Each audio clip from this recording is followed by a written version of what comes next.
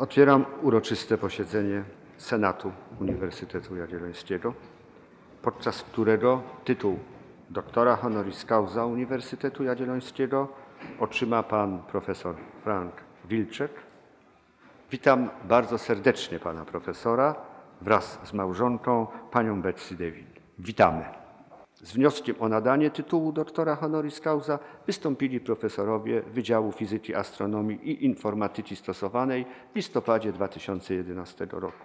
Senat Uniwersytetu na posiedzeniu w dniu 21 grudnia 2011 roku podjął uchwałę o wszczęciu postępowania o nadanie profesorowi Frankowi Wilczkowi godności doktora honoris causa. Przypadł mi dziś ogromny zaszczyt wygłoszenia laudacji profesora Franka Wilczka, jednego z gigantów współczesnej fizyki teoretycznej, któremu Senat Uniwersytetu Jagiellońskiego nadał godność doktora honoris causa. Pasją życiową profesora Wilczka jest, jak sam pisze, odkrywanie skrytych harmonii świata. Od wieków było to największym wyzwaniem intelektualnym ludzkości. Harmonii i symetrii wszechświata poszukiwali starożytni, tworząc model geocentryczny. Paradygmat geocentryczności został zakwestionowany przez Mikołaja Kopernika, a zaproponowany przez Kopernika model heliocentryczny został poprawnie sformułowany przez Johannesa Keplera, by stać się z kolei podstawą największego triumfu nowożytnej fizyki teorii grawitacji Isaaca Newtona. Kopernik pisał: Cóż piękniejszego nad niebo, które przecież ogarnia wszystko, co piękne. Harmonii poszukiwano więc obserwując gwiazdy, szukając analogii do regularności trójwymiarowej geometrii, relacji pomiędzy różnymi skalami czy zasad konsonansowych interwałów muzycznych. Profesor Frank Wilczek, urodzony w 1951 roku, miał jednak do wyboru inny obszar inspiracji niż makrokosmos. Odkryty w XX wieku, równie tajemniczy i także nieskończony mikroświat.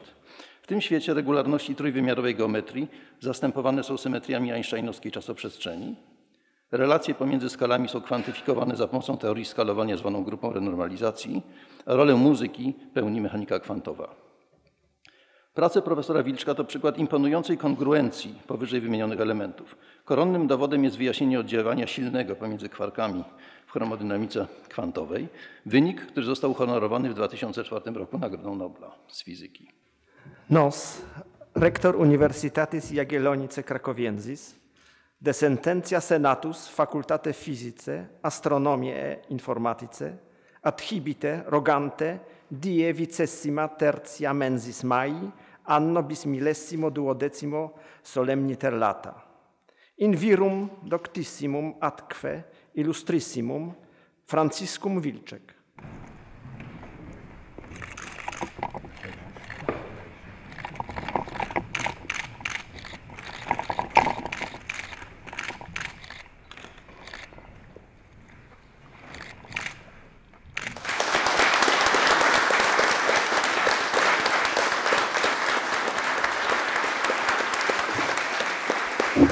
As with most words, the word science is fuzzy around the edges. As we look at Leonardo da Vinci's sketches of fanciful engineering projects, uh, that most of which can't be built, uh, are we supposed to regard them as science or art or both or neither? The fuzzy border and shifting border between science and non science is an especially interesting and exciting place, as I'll be emphasizing.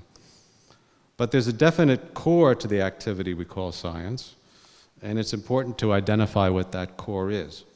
To me, the essence of science that distinguishes it from uh, other subjects is that it's the attempt to understand and affect what occurs in the physical world as such.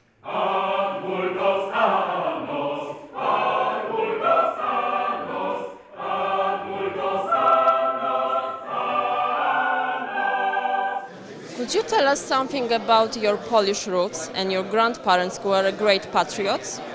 Father's parents were both born in Poland and uh, emigrated as teenagers in very different ways. My uh, grandfather was uh, uh in Poland a blacksmith. He worked near Warsaw and uh, joined the Merchant Marine at some point he jumped ship in Canada, so made his way down through the United States. So he was an illegal immigrant. But then he enlisted in Haller's army, uh, and I guess became a citizen through that service. Uh, and my grandmother was trained as a teacher in Poland, but with the disruptions of the First World War, had to emigrate.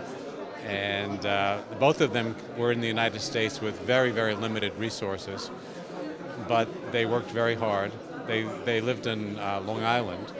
They inspired my father. My father uh, uh, grew up in the Depression under very difficult circumstances, but uh, got very interested in the early days of radio and television, worked in that, and our house was full of the very early radios and televisions.